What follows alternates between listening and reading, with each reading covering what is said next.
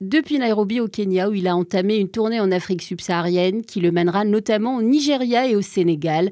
Le secrétaire d'État américain Anthony Blinken, qui s'est entretenu avec le président Kenyatta, a exhorté les pays africains à rester vigilants face aux menaces qui guettent la démocratie.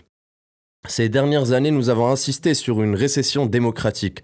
Des institutions démocratiques sont remises en question. Des journalistes et des militants des droits de l'homme sont menacés, agressés.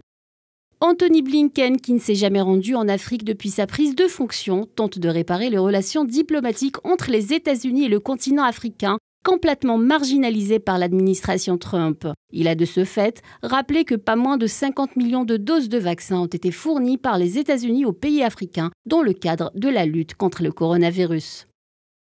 Nous avons fourni plus de 50 millions de doses de vaccins à 43 pays africains, dont près de 4 millions de doses pour le Kenya, et nous l'avons fait sans aucune condition politique, car il s'agit de sauver des vies et c'est la seule mesure qui compte.